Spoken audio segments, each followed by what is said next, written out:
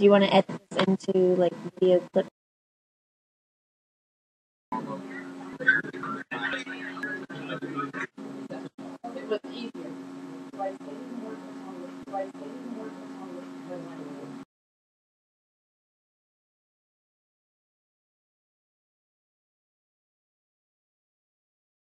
Well, my favorite new thing that I learned here at this training was about um, OneNote. OneNote is a great application and a tool that I can use to improve my teaching and communication with other teachers as well with my students. I think it provides an opportunity for students to develop a portfolio that they can easily use to follow their career through the rest of their time at present.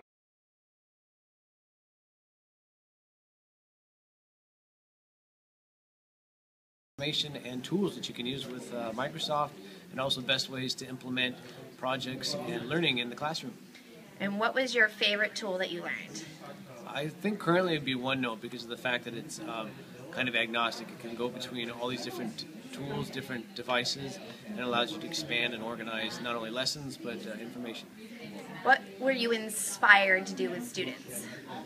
Uh, project-based learning was the big one, trying to find a way to take all these tools and actually apply it to a concept or a problem. And then also we just found a professional development program online that we think would be fantastic for uh, educators and administrators to apply at their schools to give them a head start and a leg up on getting technology implemented, implemented into the classroom. Okay. So, but That's, that's sexy spreadsheet. uh, did you have fun today? Yeah, it was a lot of fun. It's great working with your colleagues and partners. And so, did you meet any new people? Yes, I did. I met lots of new people. And did you get any new ideas? Um, yes, I think um, because I'm not a Microsoft-based person, I think a lot of the new things I learned um, will be very beneficial to my work. Perfect.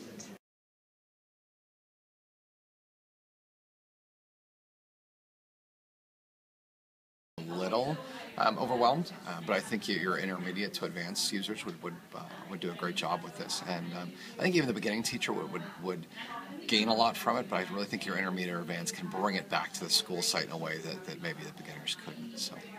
And then, specifically, like, do you think administrators and teachers could be in the session together? Well, sure, because there's a couple of us. Uh, there's a few administrators and a few teachers here now. Yeah, I absolutely think they could. I think it's good because it, it for those administrators that don't have this background and maybe are, are a site administrator rather than a technology administrator, I think they this would be real eye opening for them, and it might sort of be that moment when that teacher can lean over to them and sort of say, "See, see what I've been talking about," and uh, um, and, and not in a bad way, but in a in a look what we can do for kids. Look look look how great this is for this, the, the kids in our school. So yeah, absolutely. I think I think they should attend together. and learn more. And I think this is always a good training because you can always learn something new. There's you, you, everything keeps changing, and so it's great to continue having these MIEs because we always need a refresh.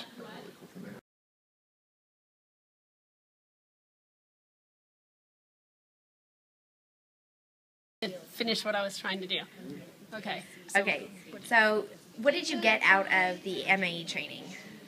Okay, I really enjoyed learning about OneNote, and uh, I needed a refresh on the SkyDrive, and I think the SkyDrive is a pretty powerful tool for teachers to collaborate. And it was nice to learn today that even if someone doesn't own OneNote, um, they can still collaborate through SkyDrive, and um, it's also a great way for students to upload their work so that when they get home, they can still continue with their work using SkyDrive. And I really like learning about the tips and tricks because those are things that are really teachers are really hungry for, and it's a great way to kind of hook them in. Say, hey, let me show you some tips today, and then they're usually open open to wanting to even learn more.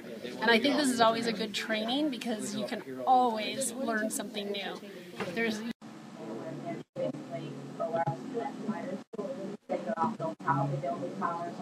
land out there and figure out the year off of it and make most of it and make great customers in school district.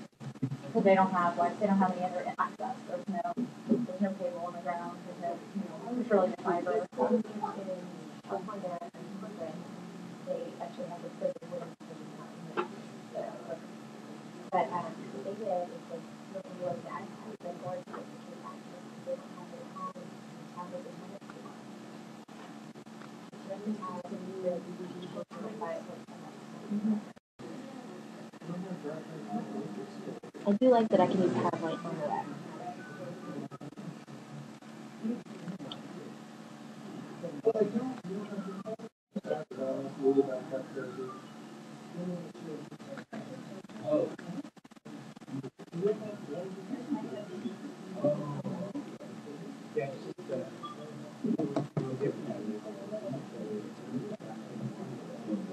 Okay, how do you find a picture to put on your SkyDrive? Depends where you put it, I suppose. I put it in my picture folder on my SkyDrive and I want to embed it in my Oh, document. Open SkyDrive. I have it open. Oh. Should be there. I don't see SkyDrive open. Where's it? back here. This, this is my SkyDrive back oh, here. Oh, are you in pictures? It's like you're in overview. You Yeah. pictures. Well, I'm in my document. I have the pictures in my picture file.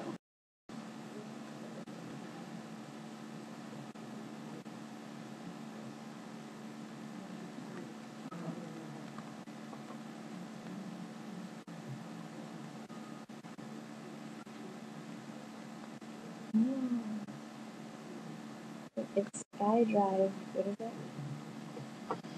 SkyDrive.com. Is it just SkyDrive.com? There, that one. That one. I'm really hoping that uh, you can strip audio out in uh, Windows Media Player. You're going need to.